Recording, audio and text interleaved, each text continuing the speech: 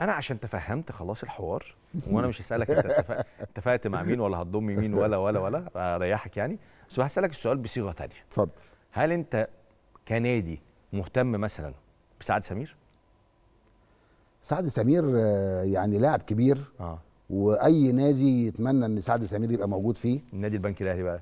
بس أنا برضو في الآخر زي ما قلت لحضرتك هي اختيارات المدير الفني امم كمراكز وأسماء. امم لأن هو اللي يعني هو اللي فاهم الفريق من الناحية الفنية.